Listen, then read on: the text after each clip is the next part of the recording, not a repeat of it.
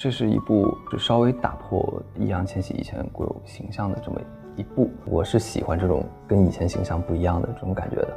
反正我对这种形象的推翻我是很喜欢，就是有一点点想要反抗现在这个身边的环境。对于我来说，生活里有想要保护的，但是他就可能没有像小北那么那么强烈跟极致。就也许我这个阶段的自由对我来说是 很美好的，但是对于下个阶段来说就不属于我的了。没有说不在乎，因为我现在还都在这些标签里面。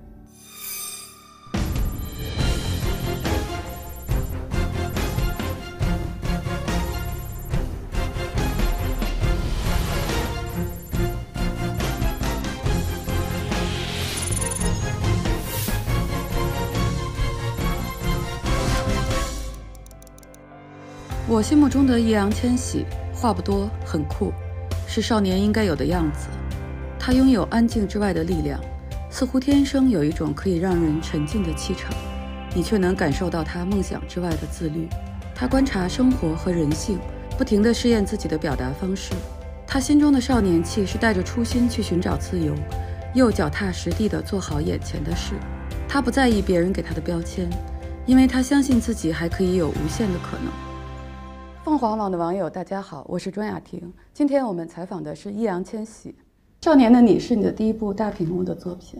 请问你在以前就是有没有设想过第一部大屏幕作品的角色是什么样的？以前真没想过。是的。然后你觉得这一部能够符合你的当下的这种心态吗？我觉得跟当时的年龄可能会比较接近，而且也比较比较相像，因为剧里面是高考的阶段嘛。然后我正好是高考完，然后也是成年之前去拍的这部电影。这世界上就两种人，没本事被欺负的人，和有本事的坏人。那你是哪种人？小北这个角色，你觉得就是说，你对他最初的印象是什么？你怎么来理解这样的一个角色？最初的印象，他是一个那种。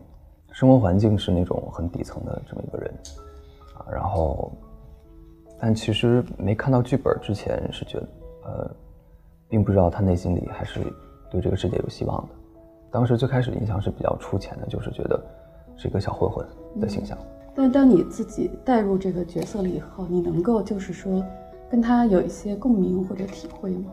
共鸣，我觉得有一点吧，就是有一点点想要。反抗现在这个，呃，身边的环境。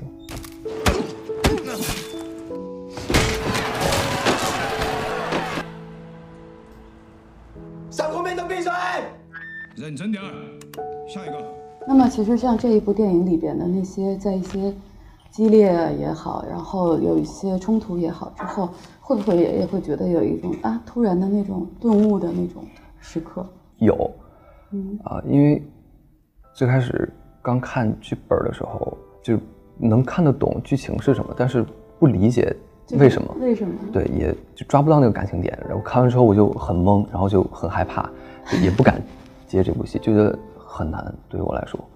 对，然后后来拍着拍着拍着，到后面就就好像慢慢慢慢就都能抓到感觉，就拍着拍着就懂了。它有几个特别爆发的冲突的点，然后比如说。假装伤害这个姑娘，然后要跟她分手啊，这样的，你怎么来体会这种就是非常有层次感的爆发？怎么体会？反正就不断的拍，然后导演一直就一直从各种角度，然后帮我帮我分析啊，然后反正各个机位就拍很多很多次。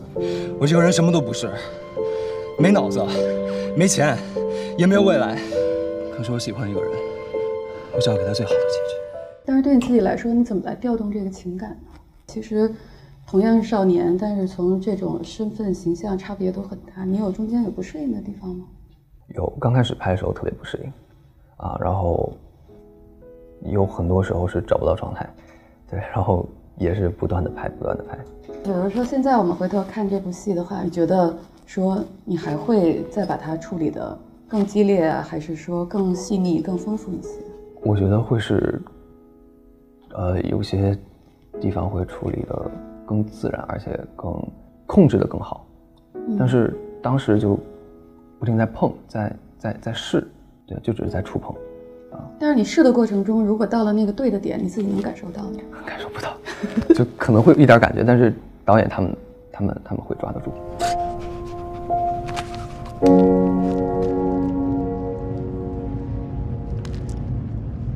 那么你觉得像《少年的你》这部，它给你的一个最大的，到现在你来反思，你觉得这个作品的内核对你来说是什么？对我来说，是我的第一部电影，在这个剧组里面，我觉得算是可能稍微帮我打开了一点门，稍微帮我开了点窍。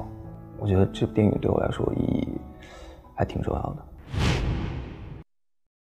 因为我们其实看电影里边，你就觉得说少年的这种感情里边，他有一种就是热血，然后特别燃烧的那一面，然后你会觉得那种奋不顾身，就是少年时候的感情会对一生有影响吗？影响，我觉得就不后悔嘛，以后肯定就啊，你少年时候做过，你以后就回想的时候就青春的时候是燃烧过的。那么就是这样的燃烧，你看他会为了这个姑娘，他会觉得说我要保护她，然后以及说我为了她我可以改变人生。那比如说，在我们的生活中，一定是有你前行的人物作为你的榜样，或者是有一个人你愿意为之改变的。也有嗯啊，但是但是可能动机没有像电影里边这么这么强烈。就是小北他是那种，他有一个前提是他已经算是对世界没有希望了，就他他身处那个环境是没有希望了，所以当他碰到一点点光的时候，他会有更强大的力量去促使他做这些事情。嗯所以他会把自己以后的一生都放到这个保护他心里那点光上面。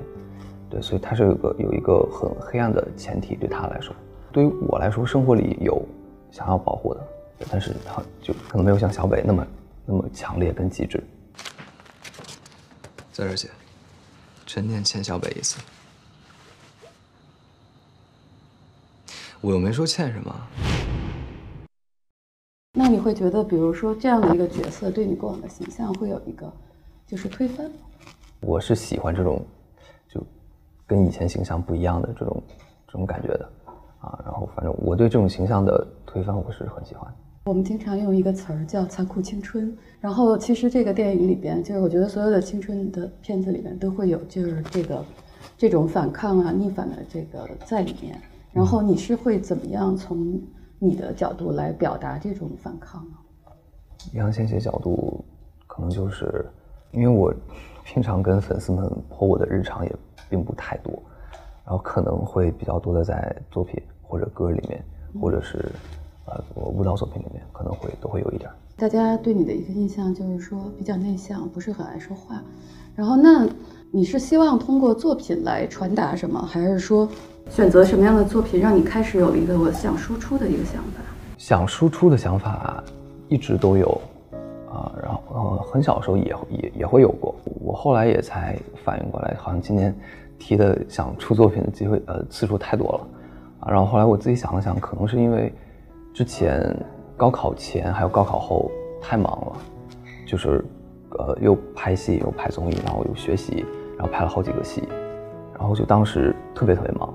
然后休息时间也很少，然后可能我觉得是那段时间有影响，就觉得自己的努力一定要让大家看到，就这种，所以想就这些作品一定要出来。但是你觉得像综艺啊或者电视剧，应该不是主要是指综艺啊或者其他的一些，觉得它不算作品吗？就是你心中对作品这个事情是觉得它是还是一个非常重要的，就是很崇高的一个东西，叫做作品。对，就是作品这个东西，我觉得很不一样的点是在于它是有限的，呃，一个小阶段，然后在这个里面，你可能贡献了自己所有的精力，或者贡献自己大部分这个想要表达的东西在里面，就基本上是一个浓缩的，就跟大家平时，比如说我发个微博或者日常看到的你，就也是有不一样的地方。对，所以可能这些这种东西是能够留下来。我们还要经常说什么“愿你出走半生，归来是少年”，然后说明少年意气它是一个特别宝贵的精神。然后呢，就是这种少年感，你是怎么来体会的？我觉得这是一个心态方面的问题吧，我也说不好。因为你就是少年呀，你从少年走到了现在，你会觉得，比如说最支撑你的那几个因素，你觉得是什么？就是对待事情的时候，始终是跟初心这两个字有点像，但是是那种就始终是保持一种新鲜的这种状态嘛，就呃新鲜的这种想法。因为其实我会看到你以以往的一些采访里面会谈到，比如说自由这个，那么就是说我们为了争取未来的自由啊，或者是怎么样，它也属于你想保护的一部分嘛，自我和自由。属于啊，因为我我觉得自由是就每个阶段自由是不一样的，而且也是很相对的。就也许我这个阶段的自由对我来说是很美好的，但是对于下个阶段来说就不属于我的了。那你这个阶段想保护的自由是什么样的？很抽象，我大概描述不出来，就是自由。就是一种没有重负的，或者是可以更探索更多可能的。都有。那你之前说你很期待大学生活，其实我们看到这个片子是，就是你正好拍完了也就可就上大学了，对吧？那你觉得大学生活让你觉得跟之前的想象有不一样的地方吗？学校里面是比想象的要轻松一些，嗯嗯，稍稍微轻松一些。然后学校环境是很久没有回去过了嗯，啊，对，就这也是不一样的。你最看重的，你现在在学校里边要得到的是什么？现在在学校里面最想得到的，嗯放松的时间，然后呃学习的时间，所以就是学校生活对你来说，其实是还是一个挺轻松的一个放松的一个过程。对，就是稍比以前非常忙碌的这个，就基本都是工作的这个生活里面，然后有一个能够就算是一个切换状态，就是到大学里面就状态生活状态也都不一样。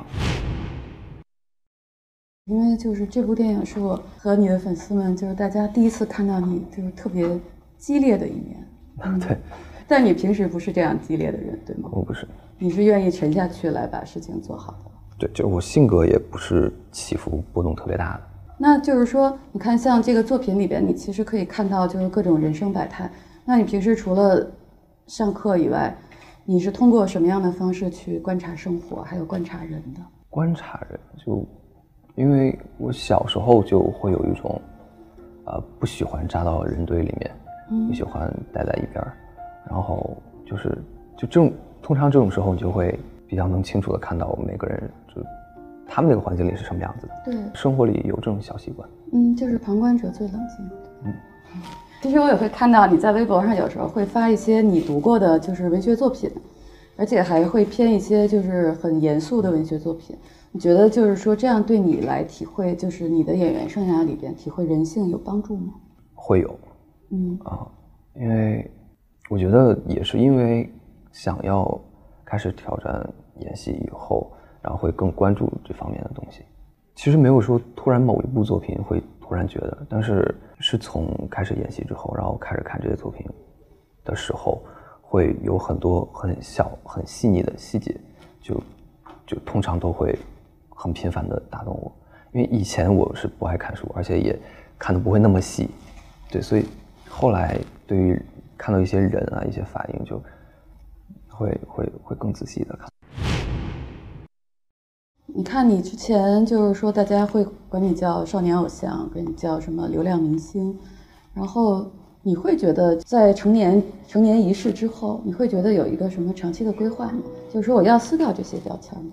有有想过，啊，但是后来想的时间长，觉得不急，因为我我本身我不是一个特别注重这些这些标签的一个人，我自己都觉得我平常发微博发特别少，然后我我反正是更想留下就是现阶段就每个阶段的属于我的东西，所以其实对标签这件事情你是不在乎的。没有说不在乎，因为我现在还都在这些标签里面，嗯，只是不去那么在乎。就是你会觉得像这一部电影里边来说，这一部电影里边的爱情，你觉得它尺度算大吗？尺度，对，就是说，呃，是就是爱情，然后两个少年，然后他们的这个爱情如此的激烈，啊啊如此的这种不顾一切，你就觉得这种谈恋爱的尺度对你来说，你觉得算大吗？就对于正常生活的老百姓来说，我觉得程度会有点深。嗯，对，但是放到他们那个前提里面就就能理解合理。对。那比如说那个有些粉丝就说哇，说那个千玺要演那个爱情剧了，我感到心碎。你怎么看这个问题？因为这是一部，呃，就是是稍微打破，呃，易烊千玺以前固有形象的这么一步。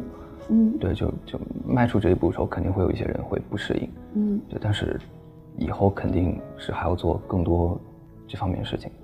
嗯对，就不能太太局限于。对，其实还是要突破自己，挑战自己。想试试。那说好了，你保护世界，我保护你。